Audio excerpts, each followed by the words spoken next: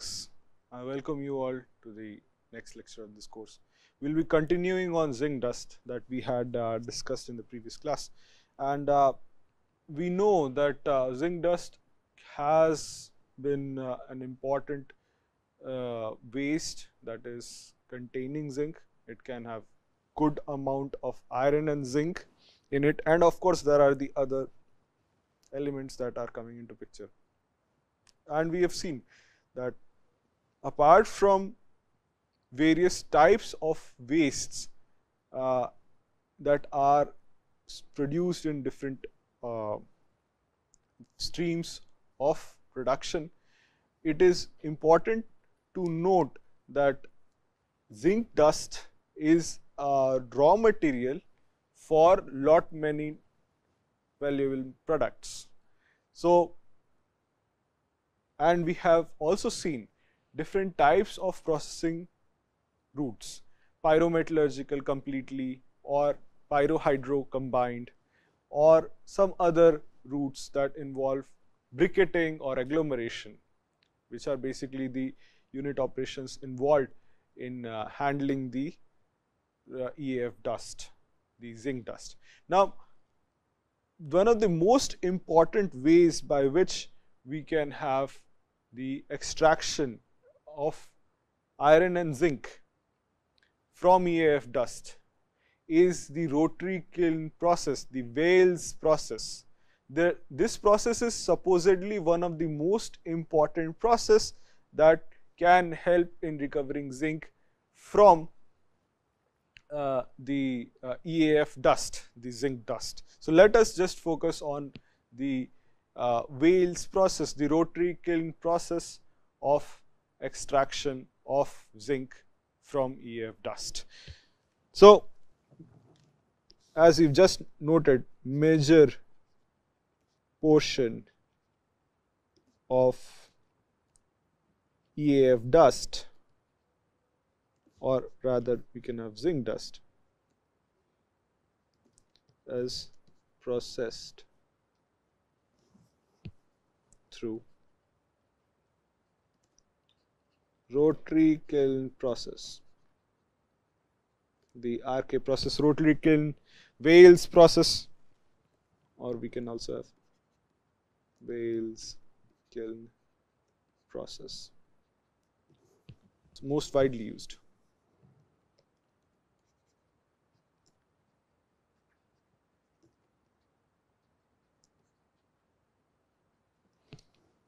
So, what is the dimension? We can have 50 meter long. That's a very long kiln with a diameter of 3 to 4 meters and as mechanism of rotation rotation operation and the RPM that can be present is around 0.5 to 1.6 RPM. So we have 50 meter long, diameter is 3 to 4 meters and we and the, the kiln itself rotates. So this long and huge kiln is used for zinc dust, EAF dust processing. Now what it really does is basically it consumes the EAF feed with the carbon source. And the carbon source is coal. The carbon source is coal used for uh, the combustion operation. And how and how really does this process go on it goes in various steps. We'll discuss the steps one after the other. Step 1 Moist material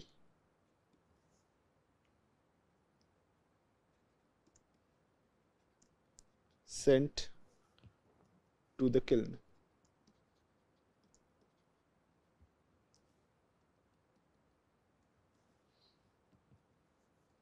And of course, one more point is important to note that it takes around 4 to 6 hours of operation. So once we feed it, we'll have to sit for around 4 to 6 hours for the finished product. So we have the moist material feeding, then we have reduction, and of course we note that uh, the, the carbon source is also fed inside. So reduction is done at 1100 to 1200 degrees Celsius and what we get here is metal oxide start to reduce.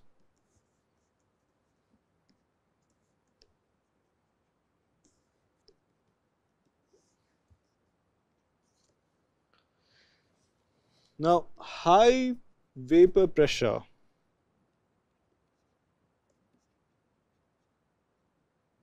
high vapor pressure zinc other alkali alkali metals are removed. High vapor pressure metals due to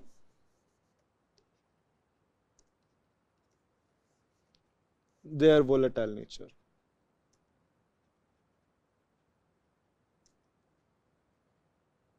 So what really happens here is when we are having the reduction operation, we have the oxide formation and its reduction. And when that happens, the zinc and other al alkali metals are removed due to their volatile nature. So these are getting collected into the gas phase. What happens after that? So we can have step D separation. When when this part is done we can have separation. Separation of Waelz oxide.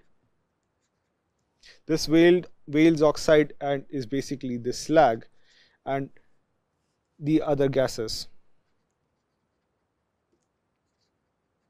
This Waelz oxide is important for material balancing so we can have some amount of zinc getting entrapped in the oxide phase as well. Of course, most of the zinc is getting removed, but the oxide is also getting generated and that uh, can be used as a raw material for other processes. The slag is discharged. Slag is discharged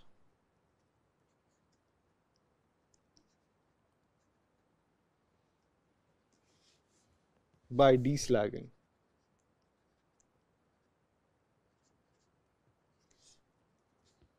And finally, we have separation of phases.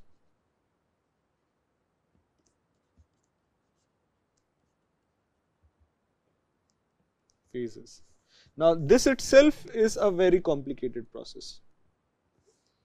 So, not just the kiln it is the gas phase that is also very important and the gas phase is going to give us zinc. So, EAF dust, zinc dust being processed in rotary kiln will give us Waelz, oxide. That is the solid product. Of course, it is the solid product that will be uh, obtained after this uh, the uh, slag is removed. But the gaseous products that are generated in the rotary kiln have to be collected for metal recovery and dust recovery. So, although we are processing a dust, it generates a secondary dust, secondary baghouse dust, which could be used for other metal recovery. That is what we are trying to understand here. So, we have coarser particles, step A of uh, separation of gas phases, we have coarse particles are removed. These coarse particles are removed by mechanical means. So one has to catch these uh, coarser particles and again these are used as raw materials for reuse as raw materials. Back in the you know so it means that we can see imagine that this raw material is going to be reused here. Of course one could think that uh, this is just a circular application but that is how it is being reutilized and material is not sub, uh, not discarded the second way the second step is the dusty catch, dusty gas is cleaned.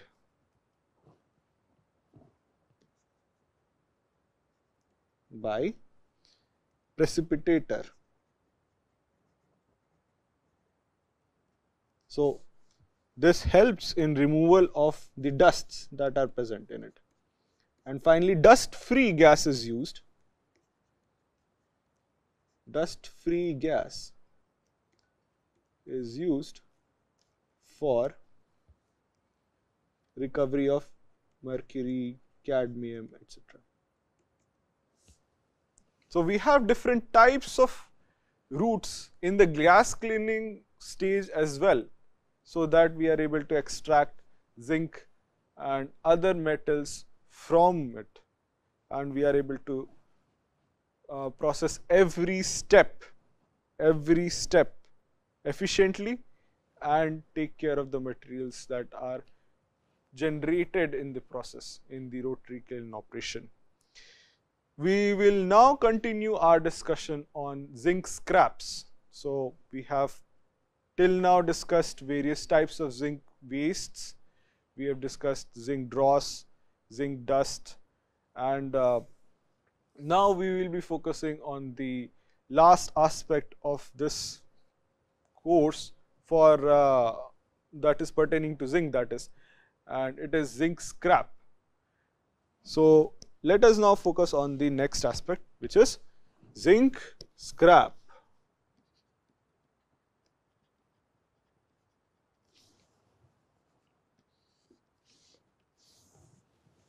So, we already know that zinc has a wide range of applications in various fields.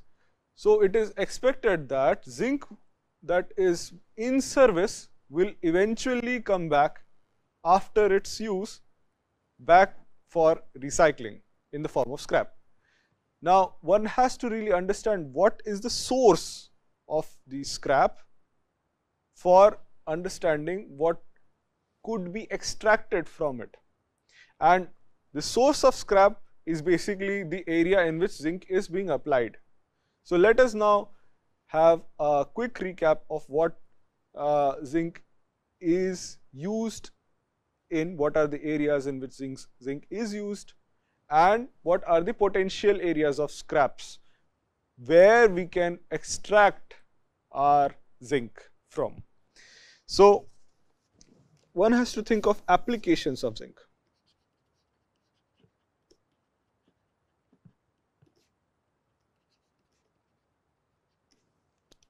applications of zinc. Why is this important? Because this helps us in understanding the raw material which is basically the scrap for zinc recovery.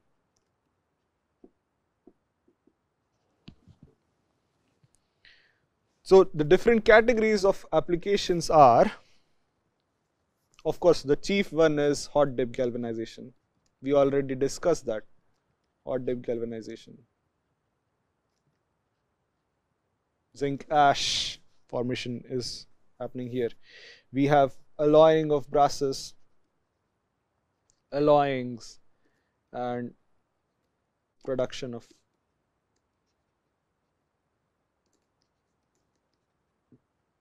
brass and bronze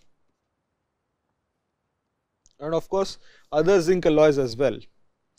So we have die casting alloys as well.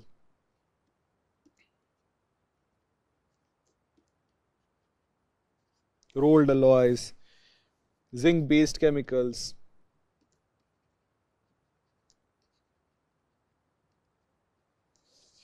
and rolled metals. Rolled zinc metals.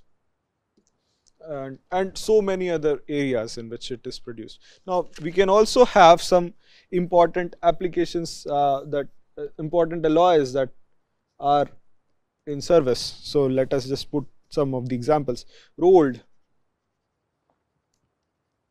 zinc alloys. And we have die cast so for rolled we can have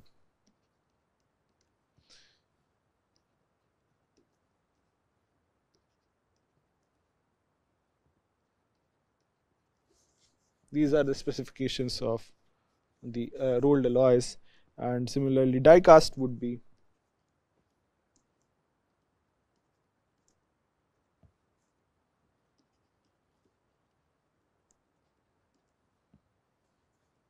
so on and so forth. So these are the various alloys that are normally produced using zinc as one of the main constituents and we know that these applications are using zinc. So eventually we will get scraps from these sources only. The finished product of these uh, applications are going to be used in different areas and after these products reach their end of life these will be discarded which will bring, bring us the raw material for scrap utilization. Now, the categories of scraps, we will discuss some categories of scraps.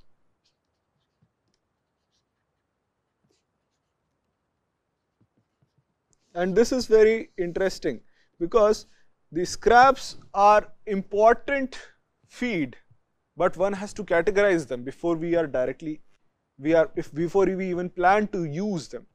Categorized scrap are easier to use. So, construction and demolition. That is one area. End of life. EOL is basically end of life vehicles.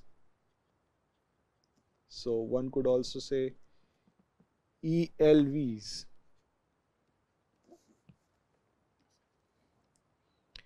Waste electrical, electric and electronic equipment which we already know as V or at times it can be also considered as e-waste which is and of course an important part of what we are going to discuss in the upcoming lectures. And industrial electric waste. IEW industrial non-electric waste which is basically INEW. So these are some important categories uh, that are present. And of course, one of the most important category that we have not written yet is municipal solid waste.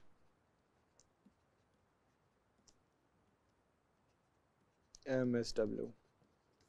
The so when we have this categories of scraps, we know that these are the potential areas from which we can easily extract zinc from.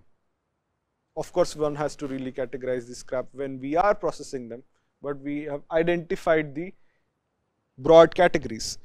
And then it becomes a lot easier to process these scraps. Now, we will have further discussion on how to process them. One of the most common methods, the most common method of reusing the scrap is remelting Now, what exactly are we doing with the remelting is what we are trying to figure out. It is dependent on what is the feed because at times we would be requiring refining as well. We will see how. So, we will make a small table.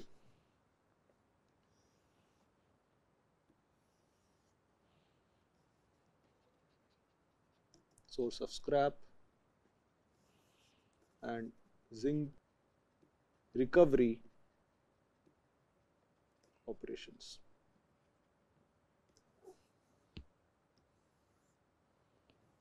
And we'll just put the reference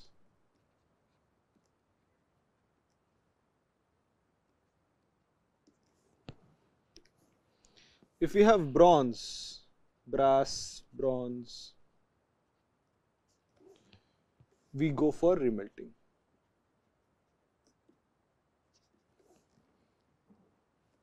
We have zinc alloys, so we can go for remelting. We have galvanization, galvanization products. So here we can have new scrap or old scrap. In such a case, new scrap goes for remelting, the old scrap goes for refining. Rolled zinc, remelting.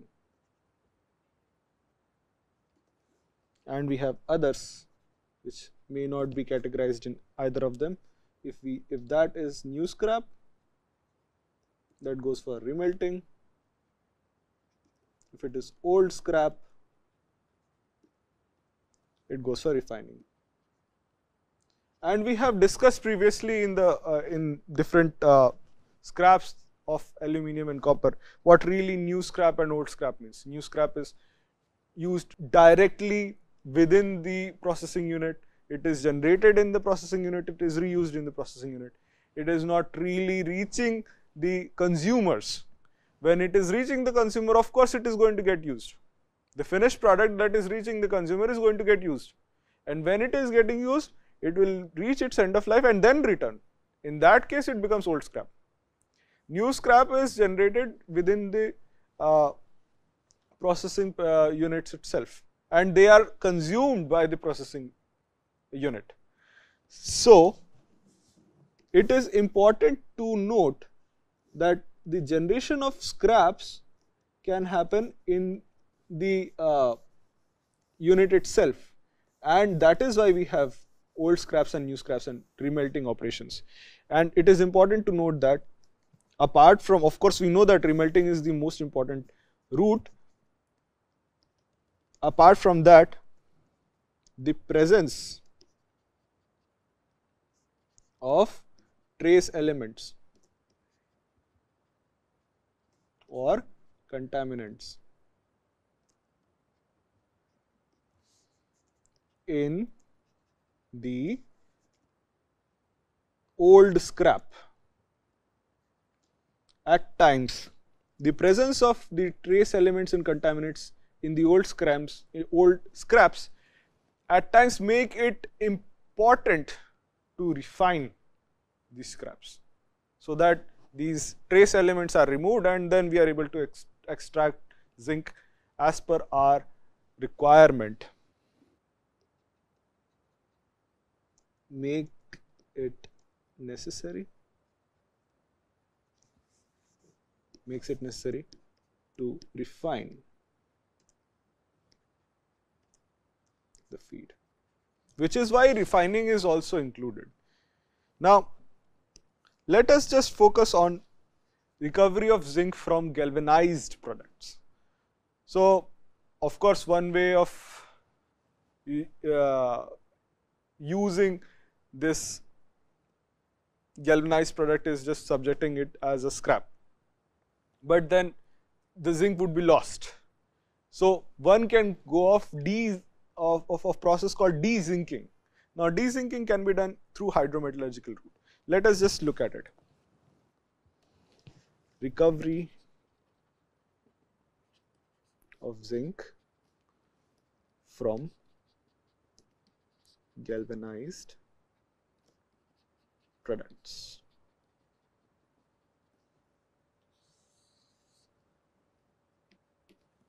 And of course, it's a hydrometallurgical route.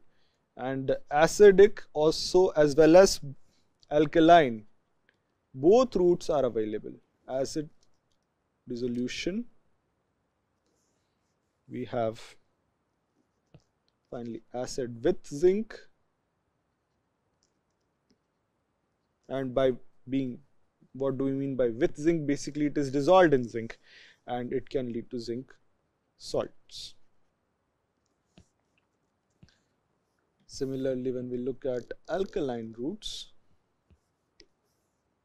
we have alkali alkali dissolution. Alkali with zinc and this can lead to zinc products. Now, here is a generalized route.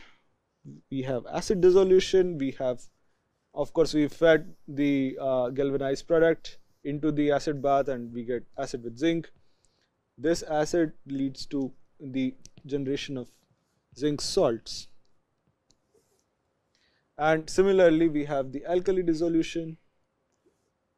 Again, we fed the galvanized product. We get alkali with zinc the zinc is getting leached into the alkali and then we are finally getting zinc products after it is getting you know removed and processed in both the cases what we also are getting here in both the cases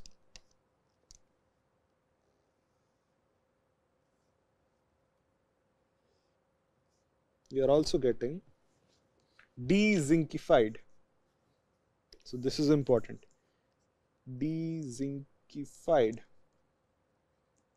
products, which was the original target. Many a times it is these dezinkified products that is what people are targeting. But at the same time, it is important to note that the alkali and the acids are going to give us zinc rich products also. So one can think of both ways of extraction of zinc from acids and alkalis as well as this de-zinc product. Now, the generalized view of uh, zinc recovery has to be noted. We've seen so many different types of zinc wastes and uh, zinc scrap is also a good source of zinc. So let us just now try to put a generalized overview of how zinc products are available in society and how zinc products should be recycled. So let us just quick uh, overview of how it flows, how material flows. We have the mining operation, we have zinc production,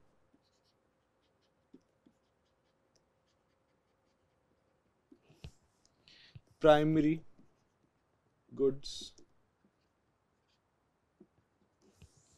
We have secondary goods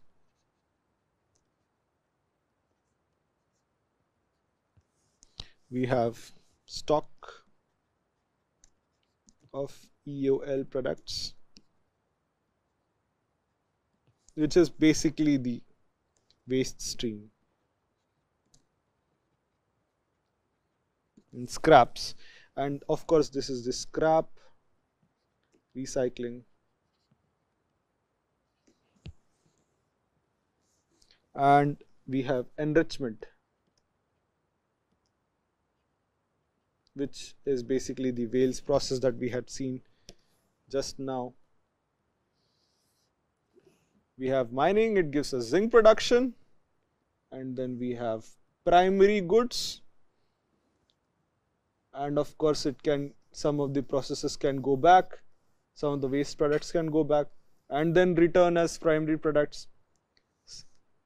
And when it is getting forward we can have primary goods getting converted into secondary goods.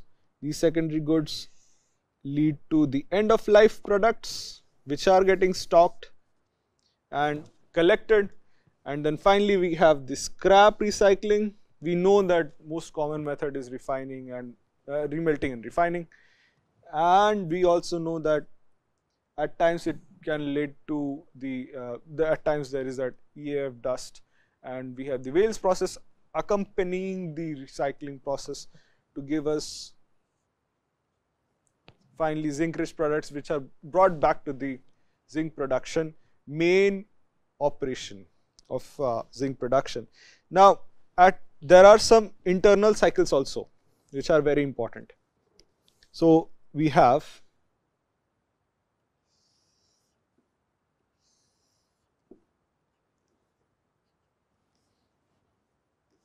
this is new scrap.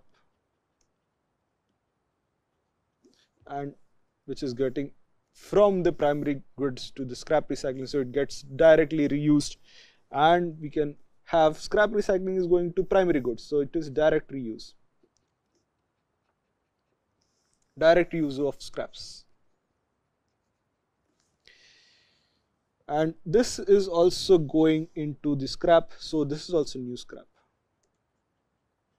please mind that secondary goods and primary goods have not really reached the consumer. So when we are actually producing and sending it only after that we get the conventional idea of scraps which is basically the stocks of EOL that is product products. We've already seen what type of products are present yeah, the uh, the V waste electrical and electrical electronic equipment and uh, and so many different uh, waste streams that we have discussed previously those are the stocks where zinc could be uh, produced. Consumer products, those are the areas where uh, uh, the scraps are coming from. But primary go goods and the secondary goods are producing the new scraps only.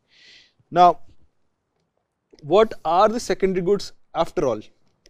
Let us just jot them down quickly. Construction, construction applications, we have transportation,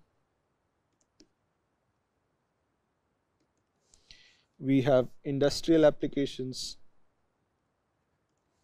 similarly health, healthcare products, uh, consumer goods, and other miscellaneous applications. So these are the products that are about to reach and after of course you should write end of life. It is getting stacked and after the stacking it gets recycled. Now one should note that this type of cycle that has been made for let's say this is specific for zinc. This can be made for copper. This can be made for aluminum this can be made for steel this can be made for any different type of material that we are interested in and it should be noted that efficient recycling of a process depends upon the uh, optimization of every step that we are looking at. Production, uh, the production of goods, primary or secondary, uh, utilization in end of uh, till end of life, its recovery from end of life to the scrap utilization or the recycling unit and then after recycling unit the metal or material should come back to the primary cycle. This involves optimization at lot many different scales within the unit operation itself and at the consumer end as well. So now we have completed the uh, overall recycling of uh, various wastes that we had to discuss on zinc. We will be continuing our uh, discussion on different uh, waste stream from other sources in the upcoming classes. Thank you.